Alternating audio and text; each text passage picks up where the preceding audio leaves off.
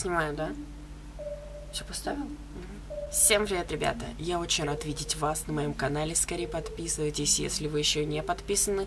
Нажимайте на вот эту вот красную кнопку и становитесь частью нашей большой и дружной семьи. Ой, боже, сегодня достаточно такая тема не хотелось мне особо наговорить на эту тему, но поскольку большая часть людей, которые меня окружают, уже обсуждают ее, и многие блогеры в том числе, давайте ее тоже обсудим. Очень большую популярность э, недавно словил такой вирус, как коронавирус. Я думаю, вы все уже знаете об этом, потому что это почему-то вывело такой хайп, что знают вообще практически все.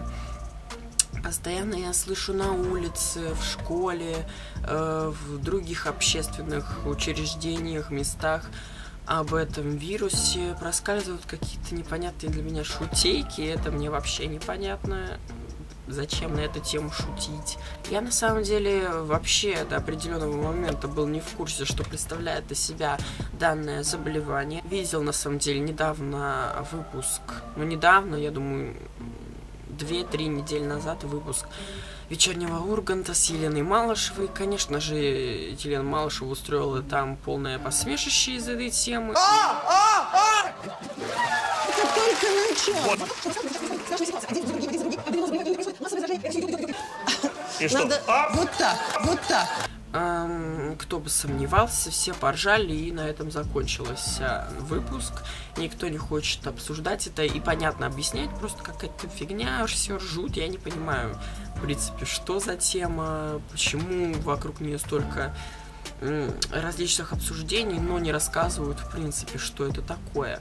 Пришлось мне немножечко порыскать по сайтам, посмотреть различные видеоролики на YouTube, также большое спасибо каналу Ой, одному не буду называть название, благодаря которому, я имею в виду канал на телевидении, благодаря которому я хоть чуть-чуть узнал, что это заболевание, что это за вирус. На самом деле коронавирус это достаточно такое заболевание, не особо приятное. Коронавирус – это острое вирусное заболевание, характеризующееся преимущественным поражением дыхательной системы и желудочно-кишечного тракта. Коронавирус является занозной инфекцией, то есть эта инфекция может передаться человеку от какого-либо животного. На данный момент от этой болезни погибло 3000 человек примерно, но я уже не знаю на выход этого видеоролика сколько людей погибло, но вот на момент съемки 3000 человек примерно так. Видео будет не особо большое, я думаю. Здесь я просто выскажу свое мнение на данный момент, который у меня есть.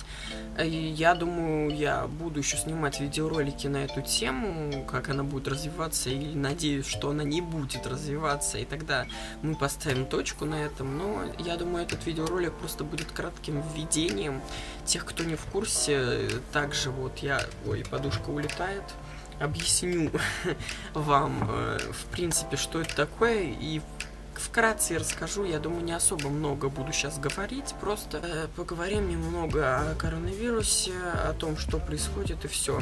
И в, в этом видео я, буду, я думаю, я больше буду выражать свою точку зрения, не рассказывать вам в подробностях, что это за заболевание. Я вам уже сказал, как оно передается, и что оно поражает. И на самом деле, ребята, до определенного момента, опять же, я вообще не знал, что это за болезнь, что она себя представляет, почему все постоянно шутят на данную тему. И, конечно, последним порогом было то, то что у нас начали в школе постоянно шутить на эту тему. Но тогда мне уже стало совсем интересно, что это все-таки, раз оно имеет такую большую глобальную популярность. Все равно я пока не до конца понял, что представляет из себя данное заболевание и, в принципе, большой ажиотаж над ним. Я очень надеюсь, что эта проблема разрешится в лучшую сторону. Не затронет никого из моих близких и из вас, мои любимые. Я надеюсь, все будет в порядке. И на самом деле, в определенный момент, как раз тогда, когда у нас начали отшучиваться в школе, я залезал в телефон, и меня начало просто уже сильно бесить то, что и всякие паблики, которые не имеют никакого отношения ни к заболеваниям, ни э, проблемам, происходящим в нашей стране или в других странах начали шутить на эту тему. Мне это было совершенно непонятно, да и сейчас особо непонятно, почему какой-то паблик, который относится, допустим, к определенному мультсериалу, мультфильму, фильму, э, к блогерской тематике шутит на эту тему. Я не знаю. Ну, я не вижу здесь ничего смешного. Я, конечно, понимаю, что можно немного пошутить, но когда это превращают просто в посмешище... Да, Елена Васильевна, да. Вот так, вот так. Это уже не совсем хорошо, но это лично мое мнение. В общем говоря, абсолютно на каждом портале в интернете обсуждают данную тему. И самое интересное для меня было это маски на людях метро. Мне не совсем понятна схема. Почему на 50% людей есть маски, а на 50% нет?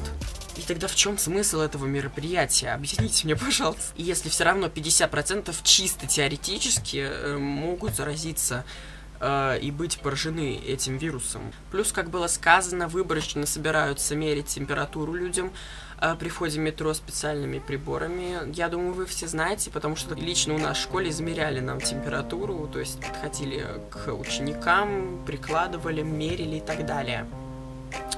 Мне тоже мерили, кстати, меня все в порядке, поэтому можно выдохнуть. И, ну, или хейтеры могут расстроиться, да. И, кстати говоря, в последнее время меня очень напрягло наличие странного лекарственного запаха в автобусах который я встречал лично. Вот у меня здесь ходит автобус, и практически в каждом автобусе есть какой-то лекарственный запах. Не знаю, может быть, это в систему вентиляции ввели какой-то а, какое-то обеззараживающее средство, или же протирают настолько сильно, что потом всю поездку пахнет этим средством.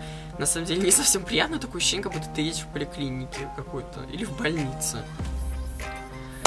Ну, не знаю, с чем это связано. Почему-то только у меня в автобусе такое было. В других, допустим, автобусах в других районах не встречал этого. Но у нас почему-то это есть. Не знаю почему. В общем, я вам, ребята, советую не паниковать преждевременно. Просто тщательнее относиться и прислушиваться к своему организму.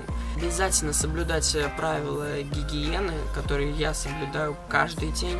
Независимо от того, что там коронавирус, а, грипп или еще что-то бродит. В любом случае нужно обязательно мыть руки. Также, когда я прихожу домой, я просто промываю нос мироместином, обеззараживаю тем самым его. А, часто проветриваю помещение, чтобы здесь никакие бактерии и различные вирусы не скапливались. И также при приходе из различных общественных учреждений сразу кладу свою одежду в стирку и все. И, в принципе, мне это помогает. Все равно я часто болею, но это уже из-за проблем со здоровьем, определенными проблемами. Но это ничего страшного в этом нету, все окей, давайте будем здоровыми. Занимаемся спортом, ребята, обязательно укрепляем ваши мышцы. Потому что, кстати говоря, я занимаюсь спортом каждый день и вам советую. Ну, а на сегодняшний момент все. Это все, что я смог узнать, все, что я смог понять. Понял то, что в России уже есть три человека, которые больны данным вирусом. Эм, находятся они в больнице. Также куча народу еще загнали в больницу те, кто контактировали с этими людьми тремя, которые при, привезли эту болезнь в Россию. На самом деле уже в, практически во всех странах есть этот вирус, кроме Антарктиды. Ну, там никого из людей нету практически. Или вообще нет. Ну, а я с вами прощаюсь. Надеюсь, вам понравилось это видео и все с вами и со мной будет хорошо. Поэтому увидимся в следующих видеороликах. Всем пока-пока.